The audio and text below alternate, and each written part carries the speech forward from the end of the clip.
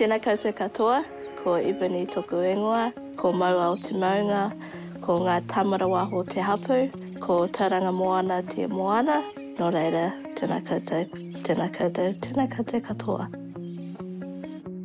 My name is Ebony Sinclair. I live with a disability called achondroplasia, which is a common type of dwarfism. If I could have one wish, it would be to have an inclusive, understanding world for diversity.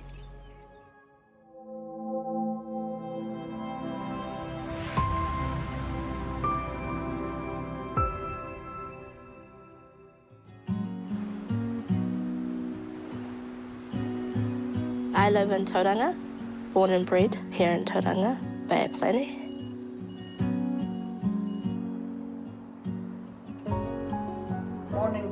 How are you? I have a lovely husband, George. I am 30 years old, just turned 30. Dwarfism is the umbrella word for lots of different types of conditions, but achondroplasia is the most common, which is short stature of the bones and the long ligaments, the arms and the legs, and our little stubby fingers. Morning. Morning. How are you today? Yeah, good. Good. Ready for a shower? Yes. When my carer arrives, Yeah. I get up, we have a shower, making the bed, then we have brekkie. I live with cerebral palsy. My support person assists me sitting up, and then shower and breakfast, make me a cup of tea. What's going on with the chair, mate? I'm unable to put it into drive. Houston, we have a problem. Ebony is very good at being able to connect with people and relate with people. I need you to help me, mate. I'm a little bit stranded. George and I have always been people that would open up our doors to anybody. And we have two young guys live with us? Bobby and Josh, live with cerebral palsy. We are one big family. What makes Ebony special is she's really kind-hearted, outgoing, and always there if you fall off track to um, pick you back up in pieces um, and try and sew you back together. for the type of person that um that you play um that uh, uh too hard. I can't do it who will um make you do. It they change my life for the better. When Joshua was young, he lost both of his parents, so we've kind of just taken him in, the boy, as our own. She's a rock star, to be honest. One of the best people that I have met in my 22 years of being alive. One in every 25,000 births, someone is born with achondroplasia. Able-bodied people can have a child with dwarfism. It just randomly happens. My first impression of Ebony was that she was a bubbly personality and a courageous person. I know I'm a lucky man. George and I met at a leadership seminar. He was a go-getter, and I loved that. That was what attracted me to him. He just loved helping people. You're in. Are you done? Um, I'm done temporarily. They've been able to give me a second-hand controller. Brendan's coming back on Monday. Sounds good. Yep.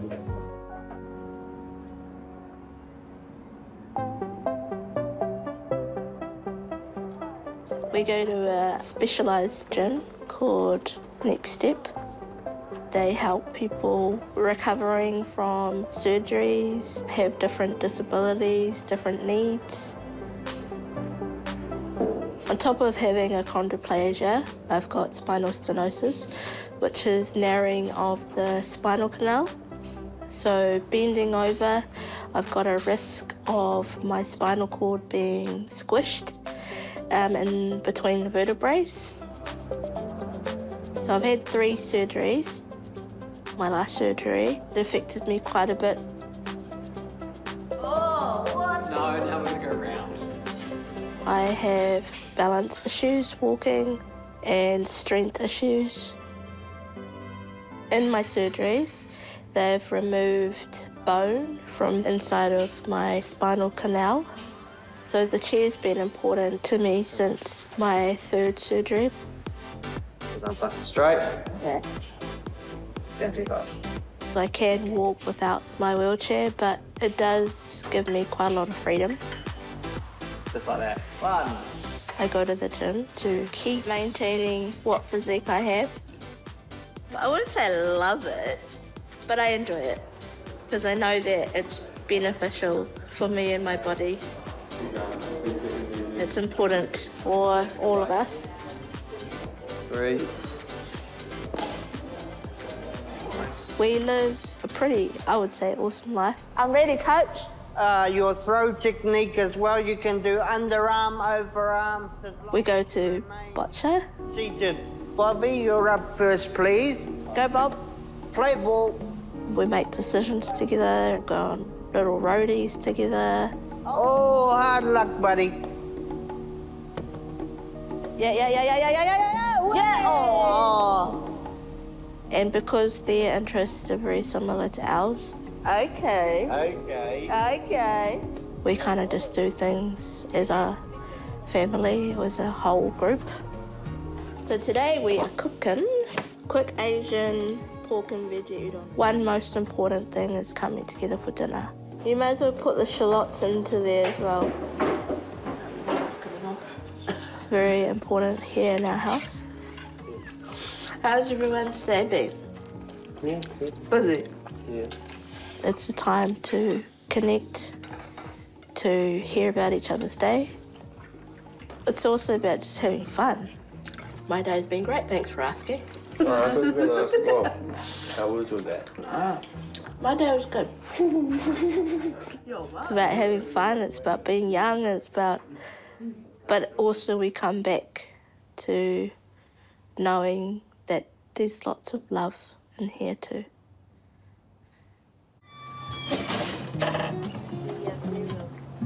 I've been very fortunate to be born into a family who also have dwarfism.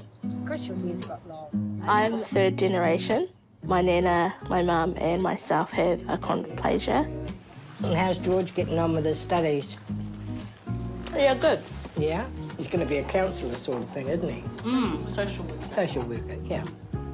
If I ever need support or information or just a listening ear, they understand because they have lived experience. My eldest sister and brother are six footers. They grew up like wild animals on the farm, ran like mad, and I couldn't keep up. My parents knew nothing. There was no medical knowledge of it. You've got to recall to our times that there was no disabled people on the streets. I had three children. My middle one is six foot tall. My youngest is Donna. I grew up with a mum who was little, as well as one of my sisters. How's Bobby? What's the other boy's name? Joshua. Joshua. The boys are taking over the house. Mm-hmm. I believe they're in the bedroom and you're in the garage. It's really good. Heaps of room. Yeah. As long as you're, you're happy with them. Being a little person was normal at home, but I was tormented, I suppose, by the children at school. Alienated, kind of. When I was having a hard time at school, I felt very awkward because people would stare. They'd make me run because I ran differently. They would imitate how my body looked to them. Yeah, it was sad, and I didn't want to go to school. It wasn't till Ebony was two that I accepted myself being different. And therefore, Ebony grew up having a mum was comfortable in her own skin. Growing up, I didn't know that I really had a achondroplasia till I was around eight years old. So I would watch my dad, who is of average height, do things, and then I would watch my mum, who's little, and I would see how she would struggle. And I'd say, Oh, mum, why is it tricky for you to tie your hair up? Why, why does it look like you're struggling? And then she just said to me that it's because I've got little arms. And I says, You got little arms. Does it mean I have little arms? My mum, she would push me, push me and get me out there. She'd just say, Just keep going, just keep going, just keep doing it. You're all good. I'm just a person like everybody else. Where's your cushion you're covering? Um, the one that fills on. I have dreams, I have aspirations, I have goals. I will try as hard as I can, probably twice as hard, but I can do anything I put my mind to. Did you want to take this off? This cover? There was a time in Ebony's life after she finished school where she sort of became an introvert or found comfort in her own bubble in her own little room. What would you like me to do? Uh, can you cut the fabric? That pink fabric. Okay. At my lowest point, I would hibernate in my room. Yeah. Edges might need zhuzhing. What does that mean? I would watch YouTube from like three o'clock in the morning to 3 p.m. and then I would sleep um, most of the day because then I felt that I didn't have to face the reality and the real world. Is that all right? Yeah, looks good. I was super worried and probably impatient because I was quite a motivated, positive person and I've always wanted to try and instill that in her. However, she was struggling with anxiety. I wonder if that's straight.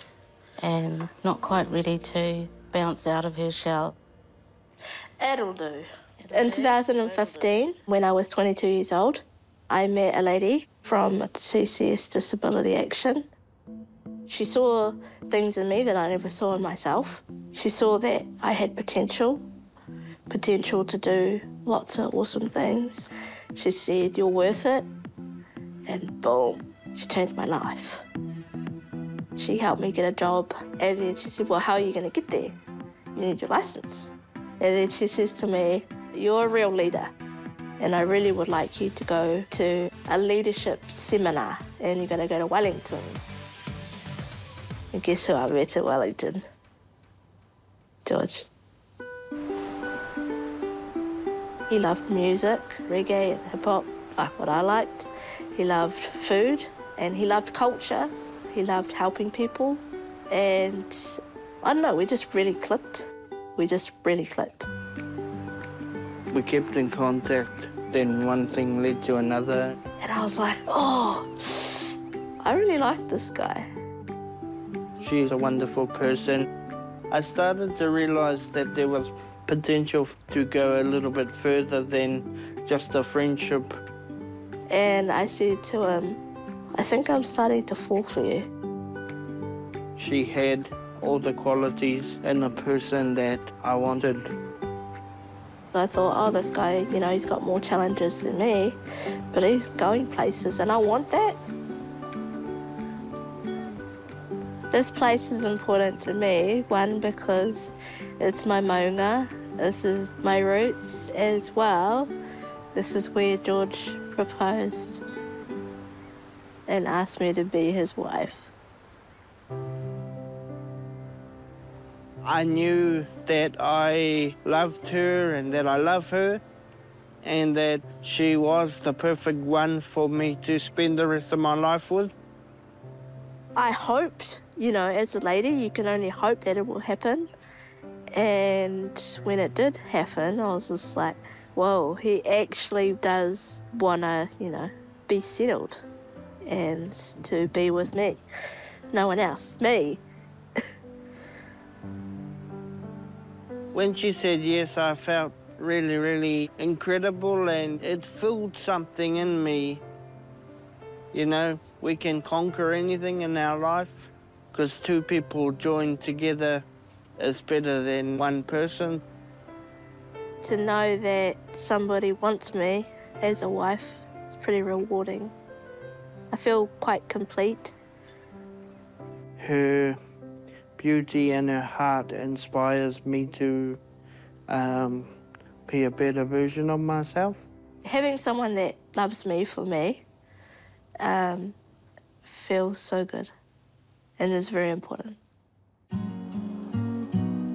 After I had my last surgery, it kind of limited some of the things that I can do. I have to create activities and make hobbies for myself to keep myself busy. And anyway, I thought I'd have a go at candle making. I have got ordinary candles that are in containers, and I've also got body candles, so ones of the figure. I've got different body part candles. I've got the boobies, I've got the bum, I've got the fronts of males and females. She's beautiful. One of the biggest reasons I started making body figure candles was because I wanted to promote body image acceptance. This one is this one's very popular, the female more so than the male. For me, it's about embracing your body and expressing your body and loving your body. Shows me that I need to love my body too, even though it's unique and different. Hi, Morgan. Hi, Ebony. How are you? Good. Nice to see you. So I sell my candles through Casita. Hmm. I love how unique everything is. Yeah. It's an awesome shop. Your lady candles are a real hit. Cute. They are all about giving life skills and opportunities to people with different disabilities, allowing them to have a real role in the community, so dealing with money and products, dealing with customers, and what it really feels like to have an actual job. One of my good friends, Morgan, works in there. She was also my bridesmaid. So I met Ebony at the start of high school. She puts everyone first and she listens to everyone's point of view and she makes everyone feel at ease. My disability is cerebral palsy. One of the reasons why I first started here is because of Ebony. Just leave them like that because they look cool. She just gets you for who you are. She just makes it all feel right. And I appreciate it every single day.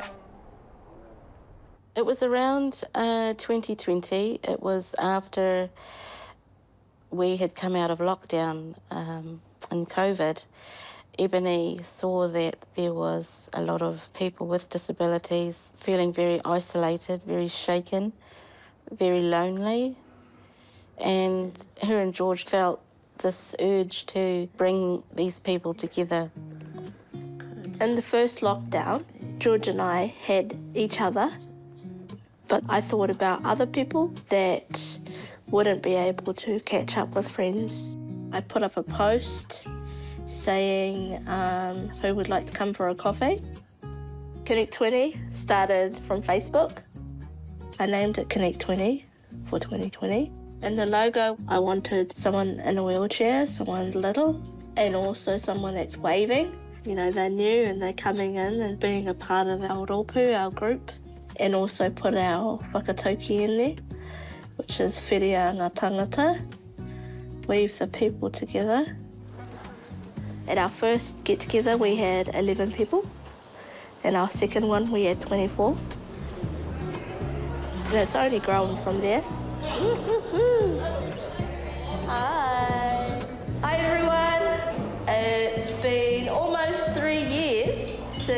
We started Connect 20. How do you guys feel about that?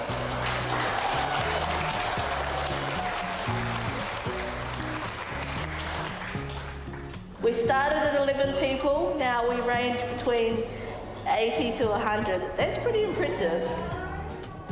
Connect 20 was created for people that live with different disabilities. The Connect 20 community allows people to feel not alone. Our next activity is coming up and we're going to go to um, Rotorua to have a picnic down there.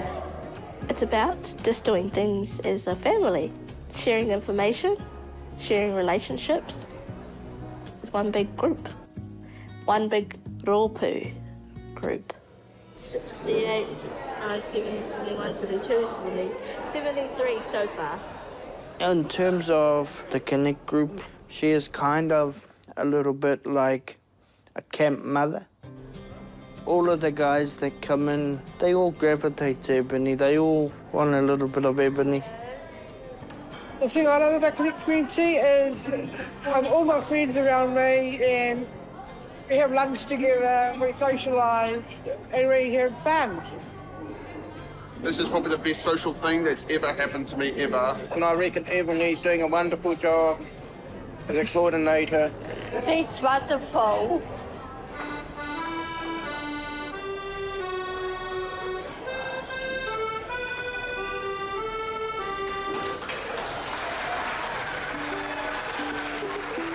The things I love about Ebony is her heart for people and her determination. I am super proud beyond words of Ebony as a person and some of the challenges that um, she has overcome in her life. It's taken quite a while to come to acceptance that I am little. This is me. My shortness is my greatness. All my differences is my greatness.